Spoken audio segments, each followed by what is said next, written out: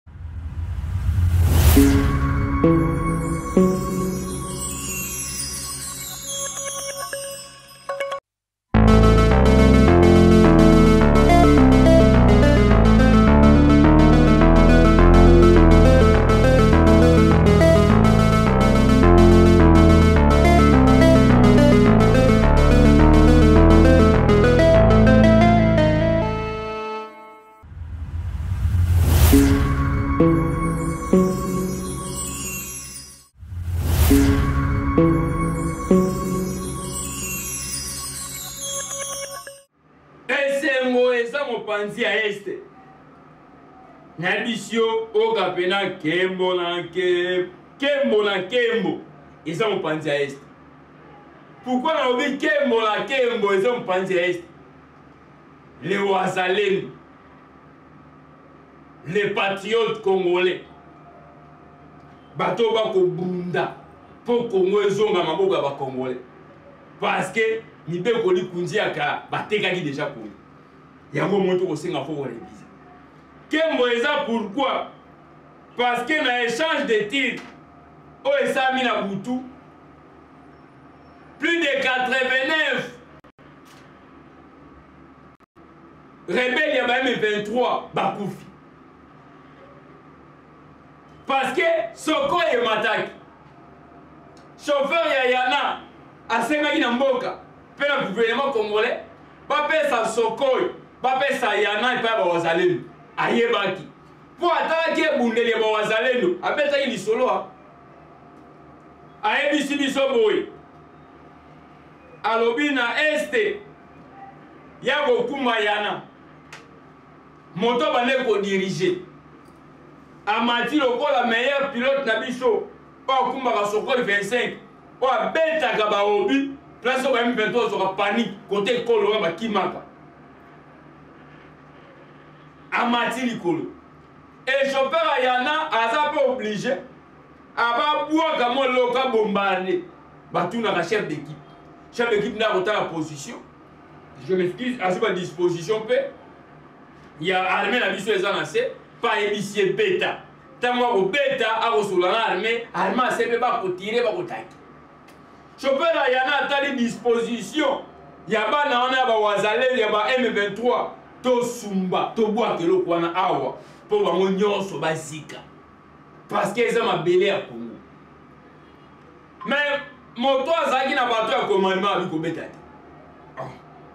ah. akende lisusu place moko wana likolo nabwaka te de baplace oyo nyonso tout disposition ya bien ezalaki mpo eh, pilote ya yana abwaka baobi chef d'équipe aboyi me ntango ekomi place oyo yango akokosi obeta akomprenaki ete haute trahison eza na armée e asengaki bazwa yana bazwa sokoi 25 bapesa bawazalendo esalamaki lolenge ye alobaki e bawazalendo bamati sokoi 25 bamati na yana na le meme chauffeur yango basali mosala na butu butu basali mosala na butu butu à partir ya 2 heures 3 heures babeti beti beti 80 balali na rwanda bibembe ezali ya bibembe ezali information ekomi na rwanda bibembe eza ya kosakana te e bamama mpe mpo batikali bana yango akufi ntina ndako ya kagame eza parmi baaktualité politike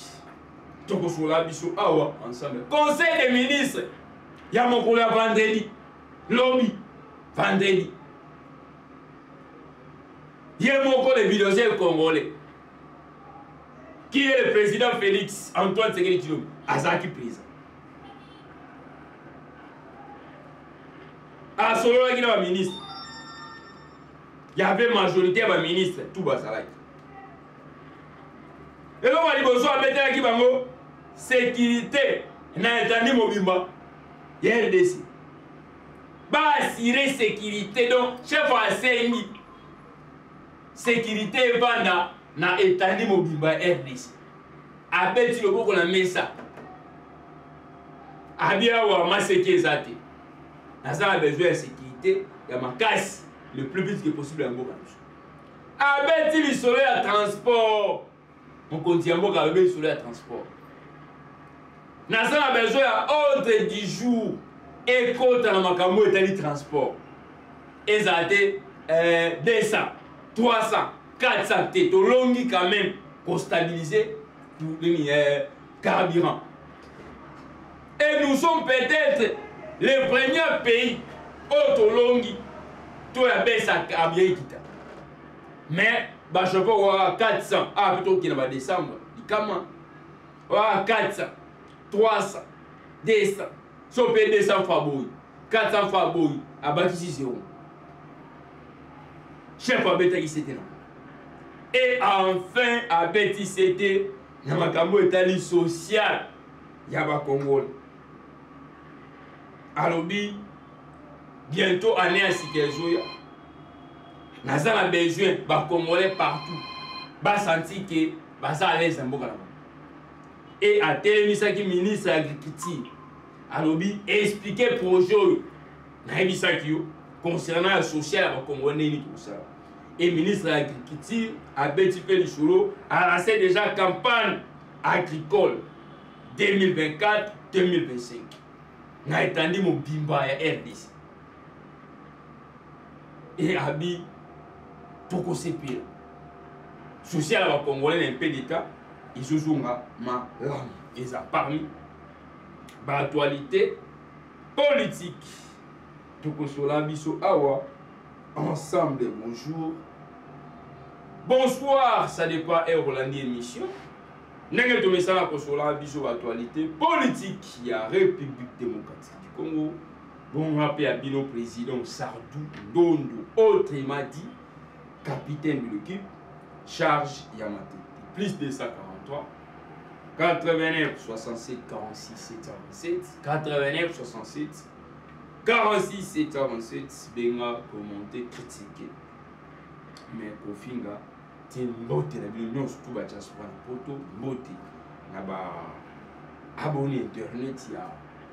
Congo Liberté, mbote na bakongole nyonso. Pourquoi pas topesa mpe mbote na ndeko aza nsima ya kamera Mardoche maboko ebendeli bos peli André Pemikeli sako na mpaka place wapi ezwami yo pourquoi pas to remercie bato to basutenaka vision ya mokonzi ya mboka tata ekolo Félix Antoine Tshisekedi Tshilombo secrétaire général augustin kabuya le tga patrick kayembe aigle directeur de projet alexis sangi matanda le directeur maya kawasa dilone soki toza même droit nous sommes censés d'informer à temps réel bacongolais partout dans le monde bayeba congo ekomi wapi congo ezokende wapi esengo etondisami na este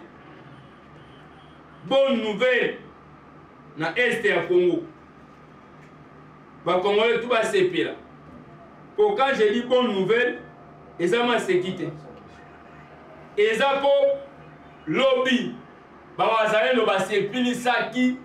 bandeko na biso ya este makasi bayaki na feti ende na kolobao depuis ntongo bazali na bazali kaka minduki boye bakoyemba kembo na kembo to lokola bakokumisa yesu bakoyemba bakotombola minduki bakosepela victoire e bakosepela victoire par pourquoi parce que 80 m23 bakufi bazalendo baza na joie depuis tongo et joie ya bawazalendo euti wapi qu'on se le dise quand même la vérité joie ya bawazalendo euti na réussite oyo basali e mpo basala réussite oyo basali yango comment chauffeur oyo akumbaka yana jour oyo adekole likolo bakotambola batala baplace oyo m23 baza mpo batire amoni place moko ya bien asali babiloko moko asalaka baninwa akomaki abongama mpo abeta ba m23 chef de commandement oyo mpo apesa oyo tabeta aboyi et deuxième place lisusu mieux place mpo abeta chef de commandement aboyi encore et troisième place place akokoki kobeta te apesi ye ordre beta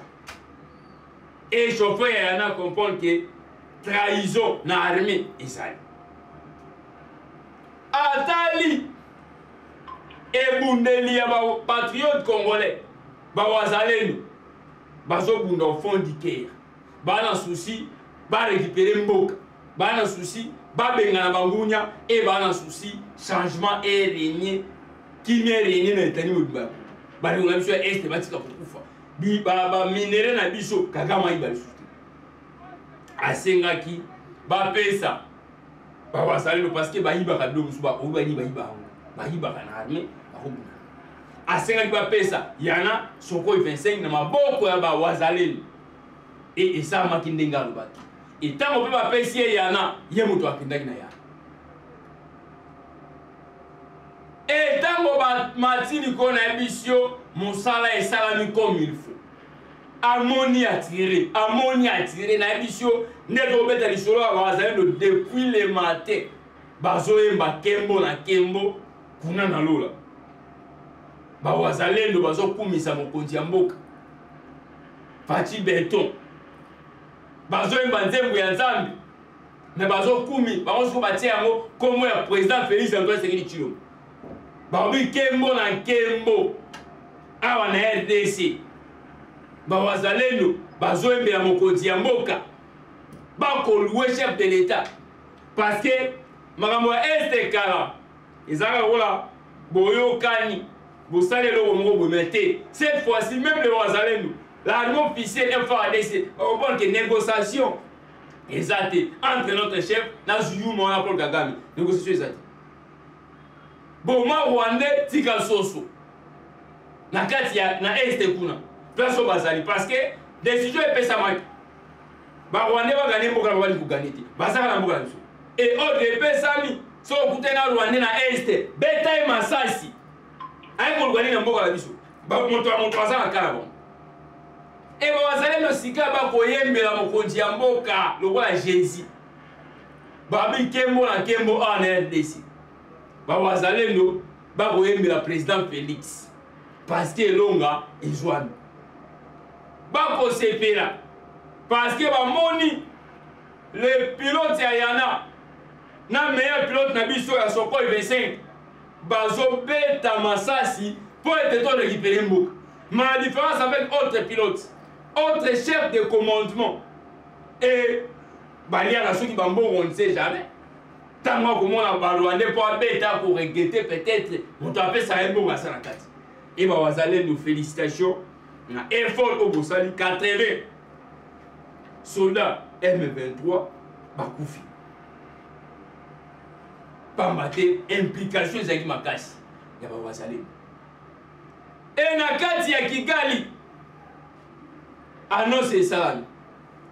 e kigali ezwi baimage wana balingi balakisa yango communauté internationale heureusement bakufi wapi na kati ya congo e communauté internationale ayebisi ye yo moko le 15 juillet osalaki déclaration ya koloba retrait immédiatement ba m23 yo moko et le président congolais mpe esi ayebi ke ba M23 bazalaka na mboka nete moto aza na mboka naye aza moyibi e communauté internationale bayebi se toyeli oyo totraite te parce que yo moko présent oloba mpena ke bakite sol congolais yo moko mais ba M23 bazosila te na sol congolais e sikawa ya biso nini na kati barapport eyeli biso ebele awa na kati ya barapport bazolakisa biso koma oza implike na makambo elekaka na este sika ntango bakosala biso rapport keyo oza implike na makambo elekaka na este malgré tobeti karatu effet de compte makambo wana etali lisusu biso kagame aleli je me suis e kikala eleli kikala permettre na koloba to dialogue na ye tosolola pa apena tosolola s'il vous plaît kikala komi kondima tosolola mpo asanti danger permanent na porte ya kigali rdc azotya ye mal à l'aise autre pays baotya ye mal à l'aise e paul kagame a danger paul kagame a danger e bawazalendo mpe balobi bakoyoka motu te bakoyoka motu te bakoyoka conseil te ava bayoka il faut ba m23 bakanga bisaka inde inde ntina mboka na bango balibere mboka na biso parce que ba comprendre que eya normal te mpe ezalaka te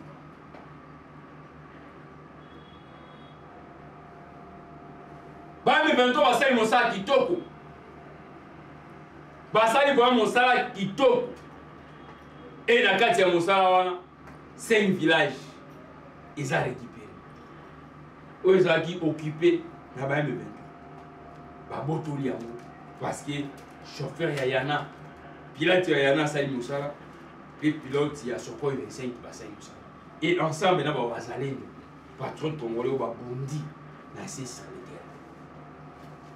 bakimisi ba 2023 mpe torécupere na bamunition de guerre na bango Et d'ailleurs, pour votre information, majorité ya munition de guerre wana eza bakashi ya rwanda donc majorité na ba m23 wana ezalaka basoda rwandais nde babima e bafame oyo bakufeli mibali na bango très fâché na kati ya kigali parce que Eloko Kagame asalaka na Kigali, soki atindi basoda rwandaise bana est, soki akufi bazwaka kore na ye te, bakundi na Rwanda. Alingaka indice ezala te, soki akufi bakundaka bona zamba. Esiko basi na bango wana nyonso tu, papa banda akenda guerre ayaka te. et tango bazwi information ke paul kagame bamilitaire rwandais tout oyo bakufaka na front na est ya congo na fort entre échange de tir na frdc kagame aboyaka bibembela yango ekende kuna mpo soki ebembeke kuna bacommunauté internationale bacomprendre ah me yo okoki kozwa moto akufi na congo oleli ye awa donc yo nde moto otindaka akundaka bango kaka bo et tango basi na bango bazwi bainformation baye korevandike ntina résidence ya kagame bayembi banzembo baza na besoin ya mibali na bango kagame azoyeba te aloba nini parce que il faut tokopesa yo eza vrai oyo kagame asaka na kati ya kikani eye bamama wana tout très fâché devant kagame bakoyemba mandalala tu toyebi te soki ekosukela bango nini conseil des ministres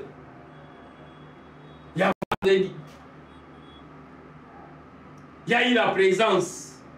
ya bidoze congolais qui est le président félix antoine skiltu abetaki trois sujets trois sujets na kati ya conseil des ministres ya liboso asengaki na etali ya congo sécurité ezala assure totala lolenge nini tokoka assure sécurité badongolo miso bakota na congo te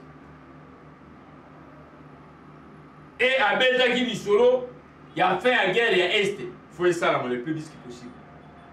soki toassure sécurité te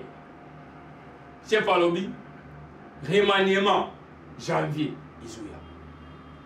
e asengi sécurité na etandi mobimba ya mboka esalama e topousse ba m23 bazonga na akini 3 na suka kotala e ya mibale chef abeti lisolo ya transport toza le seul pays oyo tolongi crise ya carburant mpe tokitisi carburant na ba span carbier mati ba place ebele lita carbier okomi ba 50 dollars bakomi mais na congo quand même to ici etie po asengaki ordre ekota na makambo oyo etali transport ezala te bareste nde bakoma 200 combien 150 combien 400 combien 300 kado ekiti oyo ya 300 450 chef asengi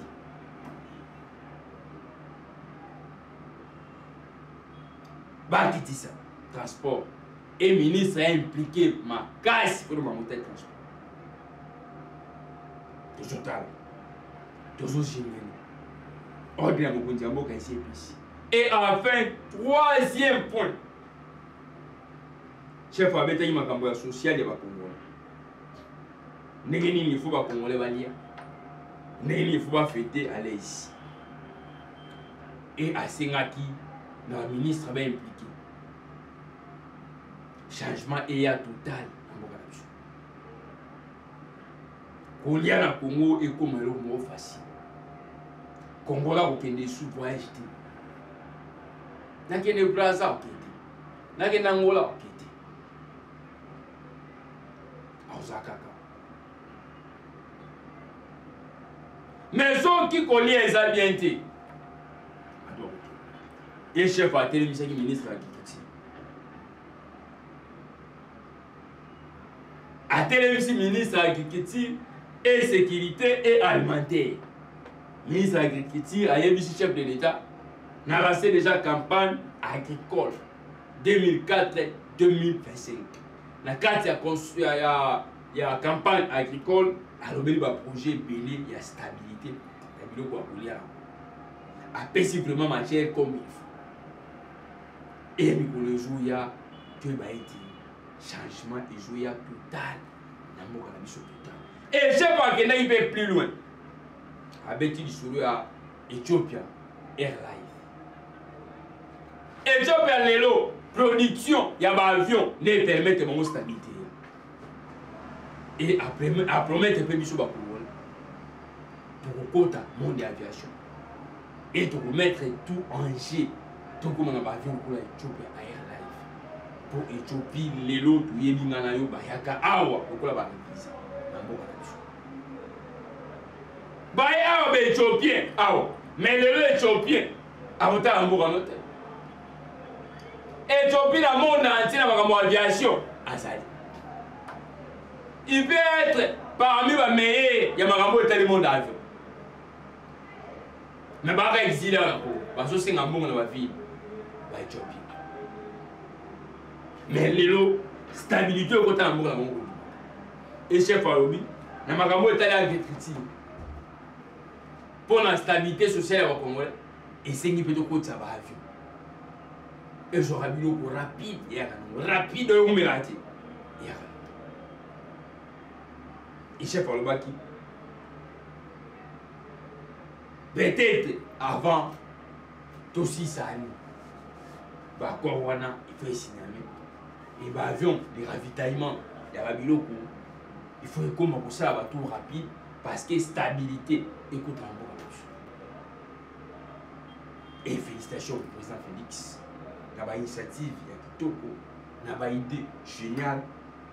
oyo epermettre ete changement le plus vite que possible ekota na mboka na biso bozalaki ebele ebele ebele partout dans le monde mama emerance alondre mama tabufat giovanni ngomba euh, suzika shama euh, chérie la petite sœur propre euh, béni petite sœur propre aussi et tous les amis mbote na bino tous les parlementaires debout mbote na bino mbote na secrétaire général augustin kabuya merci chef de l'état na ndenge otalisi ndeko deo bizimu ete eh, na idps secrétaire azalaka moko baya tozonga ensemble totala enjeu 2028 et totala vision professionnelle oyo eza pilier pour l'instant ya biso bacongolais soki yesu azongi te tokoya encore awa ine nouvelle rubrique pour to informer à temps réel bacongolais partout dans le monde place baza bakokon okomi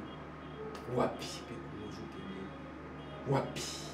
lola ezofuta tika banso toloba nzambe ya bolingo kozwa ye wapi